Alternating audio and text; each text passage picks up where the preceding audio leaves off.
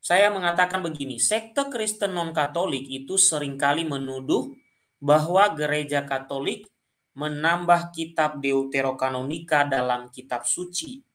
Atau tadi kata lainnya apokrifa ya Bapak Ibu. Namun, tuduhan semacam itu justru menunjukkan ketidaktahuan penuduh akan sejarah kitab suci. Meskipun demikian, sebagian umat kesulitan untuk menjawab para penuduh. Dan pada kesempatan ini, Degeas ofisial mencoba menjelaskan secara sederhana jawaban untuk para penuduh. Jadi tulisan ini Bapak Ibu bisa Anda peroleh di jalapress.com. Oke, di sana saya memuat tulisan ini. Sekarang kita pelan-pelan masuk kepada kepada bagian-bagian yang akan kita segera bedah. Bapak Ibu, perlu kita ketahui bahwa Allah Tritunggal Maha Kudus itu tidak pernah menyerahkan kitab suci secara langsung dan lengkap kepada para nabi dan para rasul seperti yang kita pegang saat ini. Atau tidak ada sekalipun dalam sejarah bahwa kitab suci itu gedebuk dari langit lalu menimpa kepala para nabi lalu mereka mengambil kitab itu. Tidak ada sejarah seperti itu. Tidak ada sejarah seperti itu. Ya. Yang ada adalah bahwa kitab-kitab itu ya, kitab suci yang kita miliki saat ini merupakan tulisan para penulis yang diilhami oleh Roh Kudus melalui sejarah keselamatan selama berabad-abad.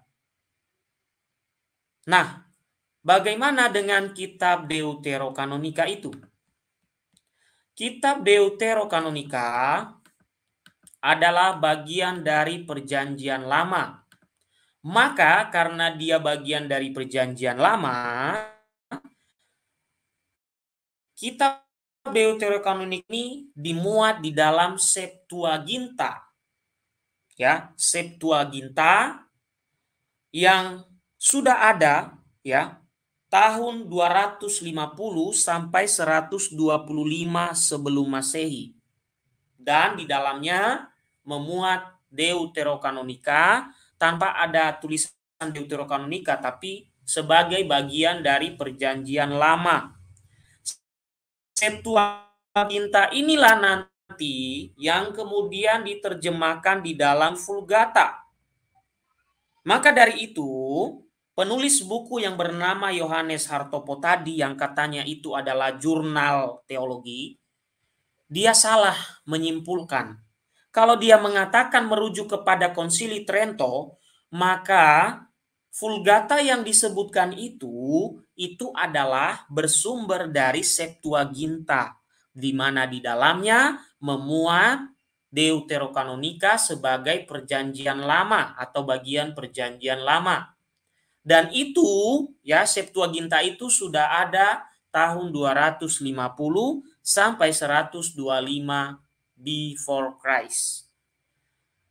Oleh karena itu, kitab suci Katolik edisi bahasa Inggris itu menyatukan Deuterokanonika sebagai bagian perjanjian lama termasuk di Indonesia saat ini.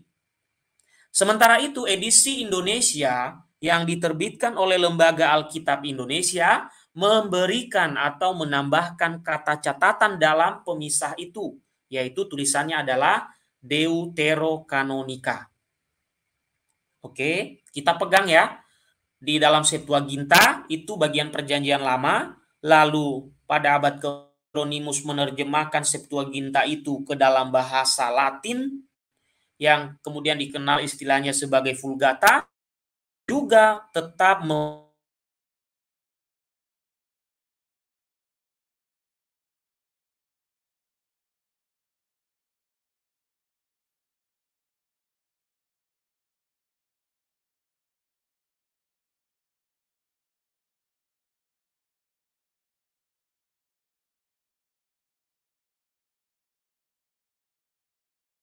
Oke Bapak Ibu, sinyal saya agak terganggu ya Bapak Ibu.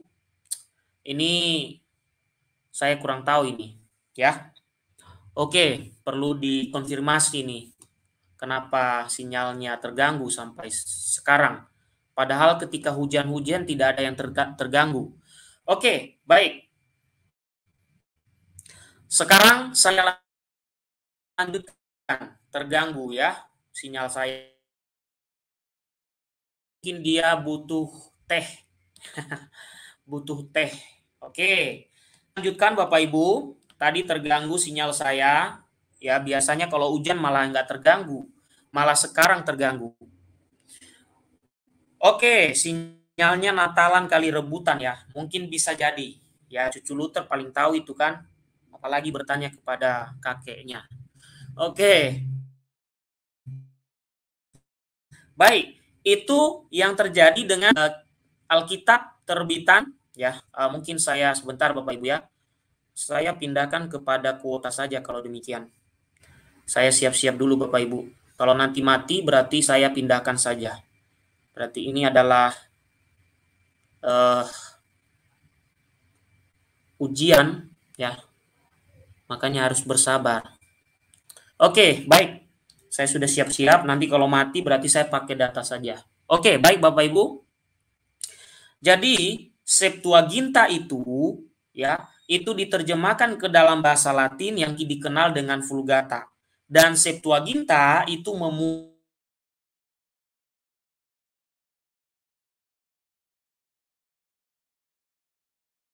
deuterokanonika dengan lengkap.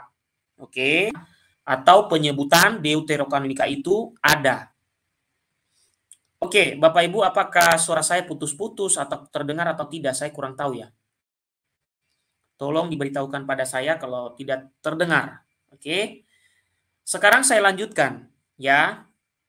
Itu pengantar terlebih dahulu terkait Septuaginta dan Vulgata. Jadi Septuaginta dan Vulgata isinya sama. Tidak ada yang berbeda. Oke, yang terjadi apa? Yang terjadi apa di zaman zaman selanjutnya? Dikatakan begini Bapak Ibu, ya. Kisahnya seperti ini. Mudah-mudahan kelihatan juga di sana.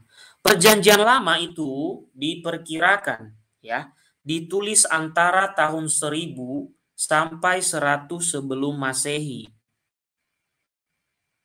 Kitab Perjanjian Lama itu digolongkan menjadi empat bagian, yaitu Kitab Taurat yang kita kenal dengan Pentateuch, Kitab Sejarah, Kitab Para Nabi, dan Kitab Hikmat. Dan salah satu dari kitab-kitab Deuterokanonika itu masuk di dalam bagian-bagian pengelompokan ini. Contoh, Kitab Kebijaksanaan Salomo, itu masuk dalam kitab hikmat. Oke, itu salah satu contoh yang saya berikan. Lalu dikatakan, setelah Yerusalem jatuh pada tahun 70, para rabi Yahudi mengadakan konsili Yamnia pada tahun 90 sampai 100 Masehi untuk menetapkan kitab-kitab yang dianggap sebagai kitab suci agama Yahudi. Kemudian para rabi ya membuat suatu syarat atau menetapkan syarat suatu kitab sehingga masuk ke dalam kanon mereka. Yaitu salah satunya harus berbahasa Ibrani harus berbahasa Ibrani. Sementara itu Bapak Ibu, orang-orang Yahudi itu bukan hanya ada di wilayahnya Israel, tapi ada juga orang-orang Yahudi diaspora yang membawa kitab-kitab Septuaginta tadi ke perantauan. Oke, mereka membawa ke perantauan ya. Lalu di perantauan kitab-kitab yang berbahasa Ibrani ini ya itu diterjemahkan ke dalam bahasa Yunani. Ya. Karena fragmen-fragmen yang asli atau kitab dalam tulisan bahasa Ibrani-nya hilang, terutama tujuh kitab yang kemudian disebut dengan uh, apokrif oleh Martin Luther, itu ditulis di dalam bahasa Yunani. Penyebabnya adalah karena ada sebagian rabi-rabi Yahudi ataupun orang-orang atau tokoh-tokoh Yahudi itu mereka merantau berdiaspora. Bayangkan misalnya saya adalah dari Nias. Bayangkan Israel itu adanya di Nias. Lalu di sana kitab sucinya itu berbahasa Nias. Lalu saya merantau ke Pulau Jawa. Di Pulau Jawa, kitab yang berbahasa Nias yang saya bawa tadi itu mulai lapuk, ya, mulai lapuk atau mulai rusak. Lalu karena saya sudah tidak pintar, uh, misalnya uh, saya meninggal misalnya ya Bapak Ibu ya, generasi selanjutnya ya ini ya. Uh, ketika zaman saya misalnya masih memakai kitab ini di perantauan ya, berbahasa Nias misalnya, saya masih pakai. Demikian pula yang ada di Pulau Nias masih memakai yang berbahasa Nias. Sekarang ya yang ada di Nias yang bahasa aslinya sudah mulai lapuk, demikian pula yang ada di perantauan. Maka ya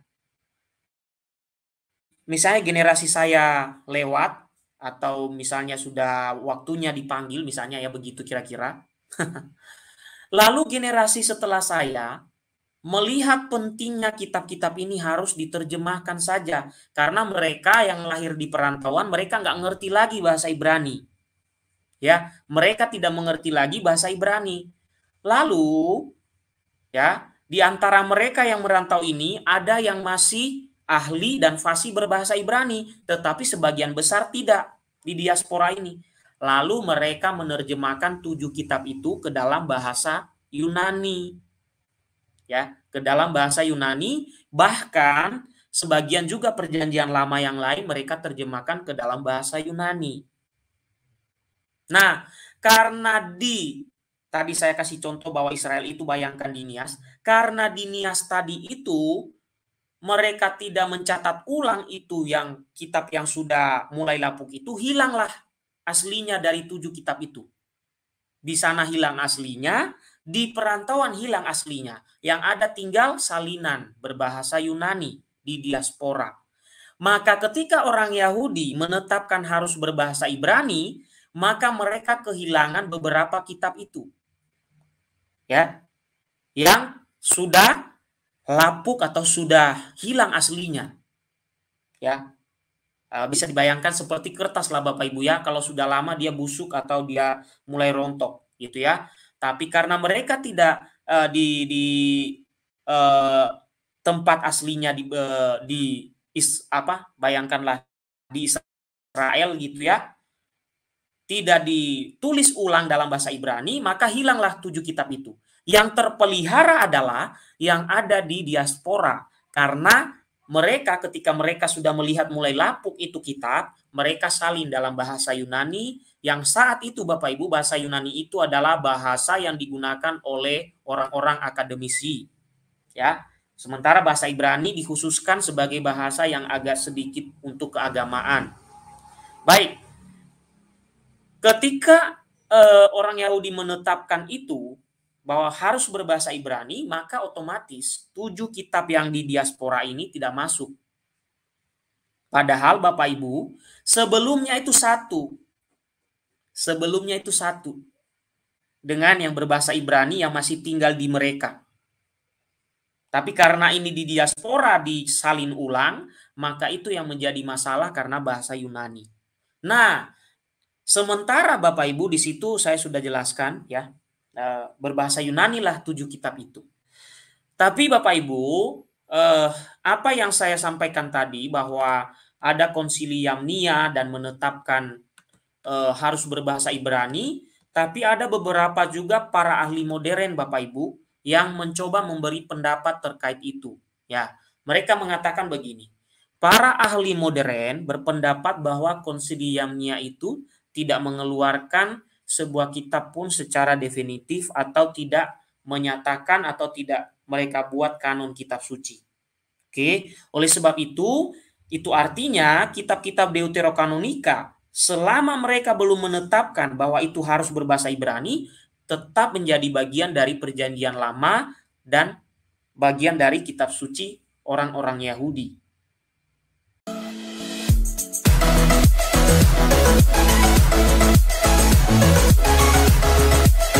Thank